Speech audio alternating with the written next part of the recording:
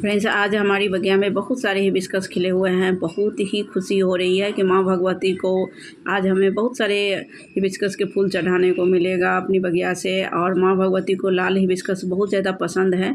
तो फ्रेंड्स आज दुर्गाष्टमी है। आप सभी को बहुत बहुत शुभकामनाएँ दुर्गा अष्टमी की। और कल दशहरा है, विजयदशमी की भी। फ्रेंड्स कल तो बहुत सारे फूल कल भी खिलने वाले हैं। आज देखिए, इसमें बहुत ही खूबसूरत लग रहे हैं। तो फ्रेंड्स, आप सबको ये फूल कैसा लगा? कमेंट में बताना। हेलो माय डियर फ्रेंड्स, मैं बबली। आप सभी का स्वागत करती हूँ अपनी बगिया में। तो फ्रेंड्स, आज का वीडियो गुलाब के पौधे पे है। तो हमारे पास एक ही गुलाब का पौधा है। आज मैं उसमें फर्टिलाइज़र देने वाली हूँ। तो मैं कौन सा फर्टिलाइज़र देने वाली हूँ उसमें? वही दिखाने वाली हूँ। तो फ्रेंड्स, अभी बहुत ही खूबसूरत हिबिस्कस के फूल तो खिल ही रहे हैं। और हमारे बगिया में मेरी गोल्ड भी बहुत सारे खिल रहे हैं। तो फ्रेंड्स, सर्दी में गुलाब बहुत अच्छे से खिलते हैं। हमारे पास एक ही छोटा सा पौधा है तो हम उसी पे आज काम करने वाले हैं। तो आज के वीडियो में वहीं दिखाने वाली हूँ फ्रेंड्स, सर्दी में गुलाब बहुत अच्छे से खिलते हैं और अभी आप गुलाब के पौधे ला भी सकते हो। तो आज का वीडियो फ्रेंड्स, अगर थोड़ा सा भी अच्छा लगेगा तो वीडियो को लाइक ज़रूर करना। अगर हमारे चैनल एंडी लवली गार्डन को अभी तक सब्सक्राइब नहीं किया तो प्लीज़ प्लीज़ सब्सक्राइब करके सपोर्ट भी करना। अगर आप सब ये वीडियो इंस्टाग्राम फेसबुक मौज कहीं पर भी देख रहे हो तो प्लीज़ वहाँ पर भी मुझे फॉलो करना और मेरी वीडियो को लाइक, शेयर ज़रूर करना। तो फ्रेंड्स, आज देखिए सफ़ेद हिबिस्कस भी खिले हुए हैं। तो ये अभी अच्छे से खिले नहीं हैं फ्रेंड्स तो अभी मैं पौधे सबको पानी दी हूँ और अब मैं कुछ काम कर रही हूँ गुलाब पे। तो आज पिंक में दो फूल हैं।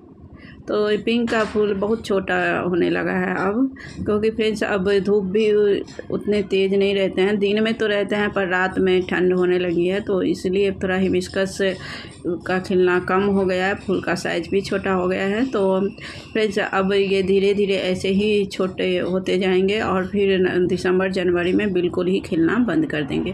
तो फ्रेंड्स चलिए हम अपने टॉपिक की तरफ़ चलते हैं और गुलाब पौधे पे काम करते हैं।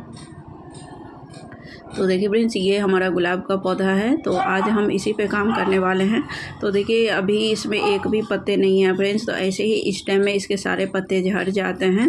और मैं इससे पहले बहुत सारे गुलाब के पौधे अपने बगिया में लगाई हूँ, पर मेरे पास गुलाब और मनी प्लांट दो पौधे फ्रेंड्स टिकते नहीं हैं, इसीलिए मैं अब ज़्यादा गुलाब ख़रीदती नहीं हूँ, बस एक ये देखिए पौधा है। तो इसमें बहुत ही खूबसूरत पिंक कलर के फूल आते हैं। अभी देखिए इसमें फुटाव हो रहे हैं तो इस टाइम में ऐसे ही होते हैं तो हमें जो सूखे ब्रांच सब है, उसको भी कट करके और फिर फर्टिलाइज़र दे देना चाहिए इस टाइम में। तो फिर आने वाले टाइम में फ्रेंड्स, इसमें बहुत ही खूबसूरत फूल खिलेगा।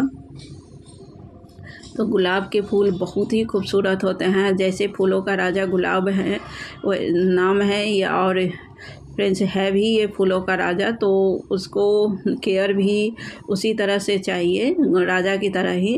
तो हिबिस्कस और बाकी जो भी प्लांट हैं, हम जैसे तैसे मिट्टी में या कोई भी फर्टिलाइज़र दे के लगा लेते हैं तो फ्रेंड्स बहुत अच्छे से चलते हैं। पर गुलाब के साथ ऐसा नहीं है, गुलाब को बहुत अच्छे से केयर करना पड़ता है। शायद मैं वो केयर नहीं दे पाती हूँ, इसीलिए मेरे पास गुलाब नहीं टिकता है। तो अभी देखिए मैं इसके जो पतले पतले ब्रांच सब है उसका को भी मैं कट करूँगी, जिससे कि मेचोर जो ब्रांच है, वहाँ से जो ब्रांच निकलेगा तो हेल्दी ब्रांच निकलेगा फ्रेंड्स तो हमारे गाँव में पिंक कलर के बहुत बड़े पौधे हैं, और इस बार भी मैं कटिंग वहाँ पे लगा के आई थी तो वो पौधे भी बहुत अच्छे से तैयार हो गए, माँ बता रही थी। और यहाँ पे देखिए इसमें भी पिंक कलर के ही फूल आते हैं। मैं इससे पहले, कुछ दिन पहले इसमें खिले हुए थे तो मैं आप सबके साथ शेयर की थी। तो और यहाँ पे देखिए, मैं गुलदाबदी सब पे भी काम करने वाली हूँ। तो अभी पहले गुलाब पे काम कर लेती हूँ। तो देखिए फ्रेंड्स, ये वही खाद है जो मैं कुछ दिन पहले आप सबको दिखाई थी। तो उसमें से मैं थोड़ा सा खाद दे रही हूँ। इसमें गोबर की खाद भी है और किचन वेस्ट भी है, चाय पत्ती सबका भी है। तो बहुत अच्छे से ये कंपोस्ट हो गया है फ्रेंड्स और नीचे जो बन गया था, उसको मैं अलग करके रखी थी। तो उसी में से मैं थोड़ा सा इसमें दे रही हूँ। तो फ्रेंड्स अच्छे फूल लेने के लिए हमें फर्टिलाइज़र भी अच्छे से देना पड़ता है। और सब फ्रेंड्स जो अच्छे से कंपोस्ट तैयार रहते हैं, वहीं देना चाहिए गुलाब में।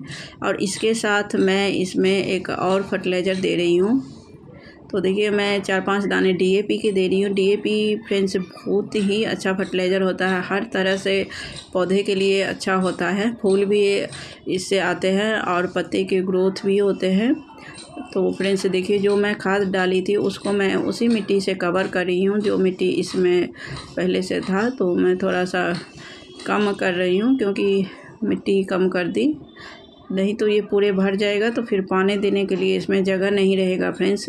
तो देखिए, मैं अपने हिसाब से तो अच्छा खाद दी हूँ तो इसका क्या अपडेट रहता है तो आने वाले टाइम में बताऊँगी और दिखाऊँगी फ्रेंड्स। तो देखिए, यहाँ पे जो ब्राउन सब पतले पतले हैं, उस सबको मैं कट कर रही हूँ, जिससे कि जो मेच्योर ब्रांच है, वहाँ से इसमें से ब्रांच निकले। तो मेरे पास फ्रेंड से कटर नहीं है तो मैं ये नए ब्लेड से इसको कट की हूँ। और जहाँ जहाँ से मैं कट की हूँ, वहाँ पे मैं हल्दी लगा रही हूँ। मेरे पास फंगी साइड नहीं है, नहीं तो आप वहाँ पे फंगी साइड पाउडर लगा दे और पूरे पौधे को फंगी साइड पाउडर घोल के स्प्रे कर दे और मिट्टी में भी दे दे। तो मेरे पास नहीं है तो मैं हल्दी घोल के ही पानी में दे रही हूँ। तो वही, इसी पानी से पूरे पौधे को नहला के दूँगी और ऊपर से थोड़ा सा हल्दी भी लगा दूँगी। जिससे कि इसमें कोई फंगस ना लगे। और फ्रेंड्स, इसमें थोड़ा सा और कुछ दे रही हूँ। तो चलिए निकाल के दिखाती हूँ। तो देखिए, ये एप्सन सॉल्ट है तो आधा चम्मच से भी थोड़ा कम है। तो ये भी बहुत ही अच्छा होता है फ्रेंड्स। तो हम थोड़ा सा ये भी दे रहे हैं, जिससे कि हम जो फर्टिलाइज़र दिए हैं, उससे कोई नुकसान ना हो इस पौधा को। तो और इसके रूट बनने में भी ये मदद करते हैं डीएपी भी मदद करते हैं एप्सन सॉल्ट भी मदद करते हैं फ्रेंड्स और पौधे को शौक से भी बचाते हैं। तो हर तरह से ये बहुत ही अच्छा होता है, पर हमें ज़्यादा गर्मी में इसका यूज़ नहीं करना चाहिए। तो देखिए यहाँ पे थोड़ा सा ही पानी में मैं हल्दी घोल के ली हूँ। तो फ्रेंड्स पूरे ऐसे ही नहला के अब फंगी साइड में घोल के और उस पानी से चार पाँच दिन तक जब भी पानी देना हो तो उसी से करना है और स्प्रे भी करना है। तो देखिए फ्रेंड्स नए नए ब्रांच के दिखाई दे रहे हैं कि कुछ दिन में इसमें नए नए ब्रांच आएँगे। तो देखिए ऊपर से मैं सूखे हल्दी को लगा देती हूँ जिससे कि यहाँ पे कोई फंगस न लगे।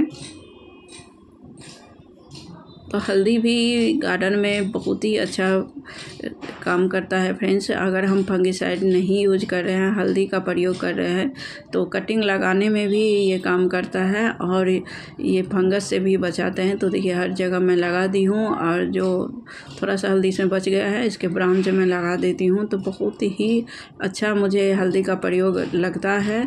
तो फ्रेंड्स, इसका जो भी अपडेट रहेगा, आने वाले टाइम में दिखाऊँगी और ये फर्टिलाइज़र कैसा रहेगा, इसके लिए ये भी दिखाऊँगी। तो आज का वीडियो कैसा लगा कमेंट में बताना।